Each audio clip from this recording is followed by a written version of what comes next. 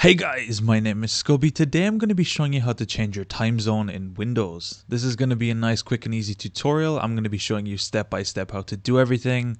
Let's jump right into this. So the first thing you want to do is come down to your taskbar and we're going to be clicking on our start button on the bottom left. And once this opens up, we're going to be searching for settings. When we search this, we should see the trusted Microsoft Store app.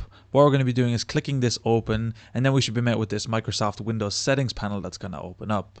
From here, what we can do is search for time in the search box, or in my case, what I'm going to be doing is clicking on the time and language tab right here, which is going to open up our next settings where we're going to get some tabs for date and time, region, language, and speech.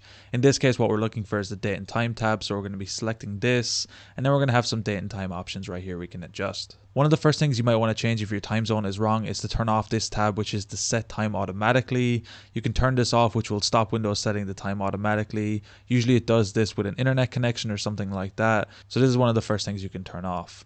From here, then what we can do is come down to the time zone tab right here. And if we drop this open, we can see all time zones from around the world. And you can select whatever time zone you need or whatever time zone you're in.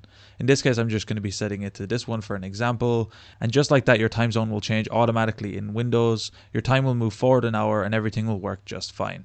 Anyway, guys, if you enjoyed this tutorial, be sure to drop a like. Subscribe if you're new. Check out the other videos on the channel. Until next time, guys, as always, keep it saucy. Peace.